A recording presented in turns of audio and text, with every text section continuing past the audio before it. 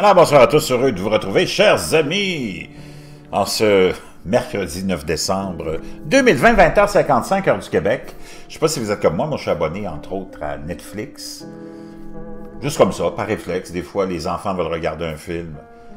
Euh, tu as la possibilité d'avoir plusieurs euh, options. Hein. Il y a quand même une grande euh, variété de films en inventaire. Ils sont surtout populaires pour les séries sont souvent très bien, bien construites, vraiment intéressantes, que ce soit de science-fiction ou comédie, vraiment des séries très bien faites et des documentaires aussi surprenants, comme celui que je vais regarder ce soir, mais je vais vous en parler maintenant, puis je vous en parlerai après quand je l'aurai vu, mais il fallait que je vous en glisse un mot, surtout les cousins français. On parle ici de Dominique Strauss-Kahn. Tout le monde se rappelle de l'ancien euh, directeur du Fonds monétaire international, hein, qui voulait euh, se lancer en politique et qui aurait probablement gagné euh, l'élection euh, quand ça a été François Hollande qui a été choisi à la place. Donc, un documentaire sur Dominique Strauss-Kahn dans la série Netflix sur ces fameuses allégations hein, de, d'agression sexuelle sur une femme de chambre d'hôtel à New York en 2011. Les téléspectateurs choqués par une série documentaire sur les allégations de viol de Dominique Strauss-Kahn, à quel point cela aurait été différent si cela s'était produit aujourd'hui pendant le fameux mouvement MeToo, a déclaré l'un d'eux. Des personnalités politiques françaises interrogées pour Netflix euh, sur le fameux documentaire Room 2806, la chambre 2806, les anciens ministres Jack Lang et Elisabeth Guigou ont pris la défense de DSK. Jack Lang a déclaré que l'amour n'était pas une conspiration du diable et que DSK était sensuel. Guigou a qualifié DSK de coureur de jupons, mais a ajouté que ce n'était pas un crime. Dans une nouvelle série, DSK a été accusé d'avoir violé la femme de chambre Nafissatou Diallo à New York en mai 2011. L'affaire a été rejetée puis réglée entre les parties. DSK a toujours nié. Des personnalités politiques françaises ont déclenché la fureur après avoir fait la queue pour défendre l'ancien directeur du Fonds monétaire international, Dominique Strauss-Kahn, dans un nouveau documentaire de Netflix, revisitant les allégations de viol et d'agression sexuelle qui lui ont coûté son travail et la présidence française potentielle. L'agression sexuelle présumée de Strauss-Kahn sur la femme de chambre de l'hôtel euh, Ni, Fis, euh, Ni Fissatou Diallo en mai 2011 à New York a fait l'objet de ce documentaire Room euh, 2806, une série documentaire qui a été diffusée sur Netflix cette semaine. Je pense que la première était euh, hier. Diallo, qui travaillait à l'hôtel Sofitel de New York, a affirmé que le Français marié Strauss-Kahn, connu sous le nom de DSK, s'était imposé à elle le 14 mai 2011 alors qu'elle nettoyait sa chambre. Cependant, l'affaire a par la suite été classée sur recommandation du bureau du procureur qui a déclaré qu'elle n'avait pas été honnête et a mis en doute sa crédibilité. Les téléspectateurs de la salle du, documentaire euh, Room euh, Chambre 2806 ont été choqués par les événements mis en évidence dans l'émission avec un commentaire à quel point son corps a-t-il été différent s'il s'était produit à l'époque de MeToo? DSK, aujourd'hui âgé de 71 ans, qui a démissionné de son poste au Fonds monétaire international et a dû abandonner la course pour devenir président de la France lors des élections de 2012, a annoncé un documentaire séparé pour raconter sa version des événements pour la première fois dans un tweet mardi dernier. Il a toujours nié les accusations portées contre lui et affirmé que la rencontre sexuelle de 9 minutes avec Diallo était consensuelle. Donc, il admet qu'il y a eu une relation sexuelle. Mais pour lui, c'était consensuel. Diallo a déclaré en septembre que l'incident avait ruiné sa vie et a ajouté que si Strauss-Kahn euh, avait été pauvre, il serait en prison. Elle a déclaré au magazine français Paris Match que la façon dont les procureurs de New York la traitaient la rendait suicidaire. Naturellement, on parle ici de la victime. Diallo, j'ai dit la vérité, j'ai été euh, trompé et trahi, a-t-elle déclaré. On peut la voir ici. Nafitassou Diallo, photographié en septembre.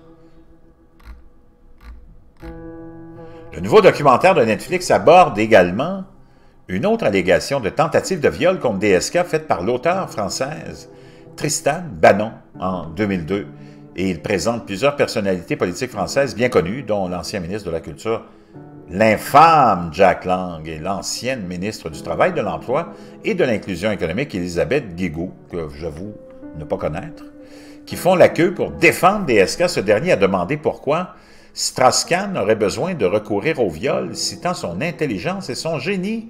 Des commentaires qui ont été décrits comme nauséabonds et dégoûtants par les téléspectateurs. Euh, pas étonnant nous venant de Jack Lang. un être... Je pense que les Français sont plus capables de supporter, mais ils sont toujours là, hein, ces gens-là, dans, les médias, dans l'environnement médiatique.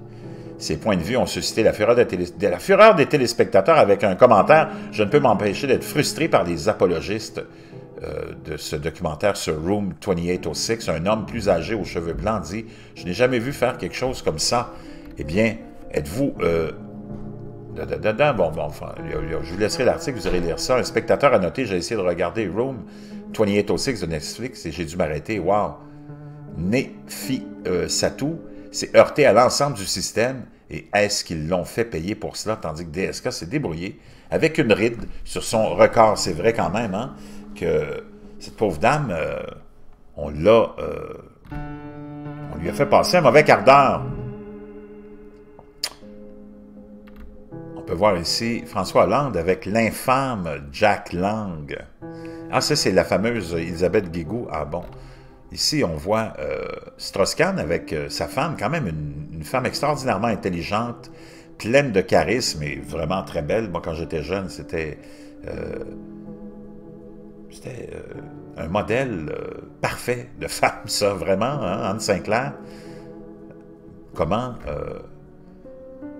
cet être assez étrange, Strauss-Kahn, peut avoir autant d'appétit quand il a une femme comme celle-là, vraiment, c'est tout un mystère. La série documentaire a également raconté euh, combien de membres du Parti socialiste de DSK ont partagé leur sympathie pour le patron du FMI et sa famille lorsque le scandale a éclaté et n'a fait aucune mention de la victime présumée, Diallo, dans leur déclaration publique? Jack Lang, qui a été ministre de la Culture de 81 à 86 et de nouveau de 88 à 93, ainsi que ministre de l'Éducation nationale de 92 à 93, de 2000 à 2002, a réitéré son soutien dans le documentaire affirmant que DSK était un homme sensuel. Oh là là!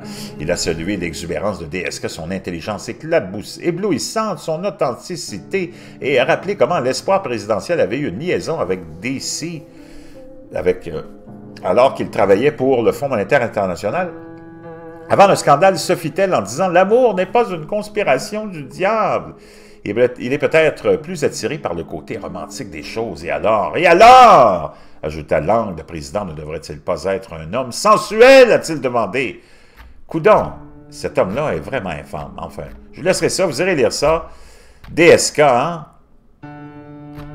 Tout un documentaire que je m'en vais justement à l'instant regarder je vous en reparlerai.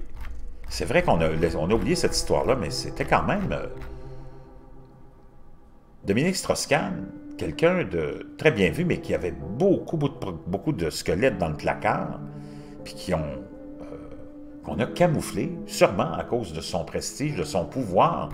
Et que dire de sa femme, qui devait sûrement être au courant, c'est impossible que cette euh, femme aussi intelligente, Anne Sinclair, ait ignoré euh, son, le côté plus sombre de sa vie, hein, euh, qui semble euh, être rempli d'aventures, d'allégations de, viol de toutes sortes. C'est pas la première femme qui, qui est victime de Dominique Strauss-Kahn. On avait cette journaliste aussi dont on parlait, mais il y avait plusieurs autres. Je me rappelle à l'époque, j'avais suivi ça un peu, cette affaire-là. Beaucoup, beaucoup de femmes étaient sorti par la suite hein, pour parler de d'expériences plutôt désagréables avec Dominique Strauss-Kahn. Elles n'ont pas toutes mené à, à l'agression totale, mais beaucoup de gens, beaucoup de femmes se sont senties vraiment, vraiment inconfortables dans sa présence. Donc Dominique Strauss-Kahn, qui était quand même euh, un puissant personnage, euh, qui a fini hein, dans la déchéance, même si il a semblé être épargné, au moins euh, ça aura mis fin à ses aspirations d'être le président de la France. tu as Jack Lang qui dit que c'est un homme sensuel et que le président de la France devrait être un homme sensuel. Wow! Je ne sais pas, là, mais il me semble qu'on n'a pas les mêmes... euh, les mêmes critères. Jack Lang et moi. Je ne suis pas concernant euh, ce, qui vous concerne, vous autres, là, pour vos critères, mais... Donc, on- DSK qui revient dans... dans le paysage, comme on dirait, par chez nous. Je vous reviens.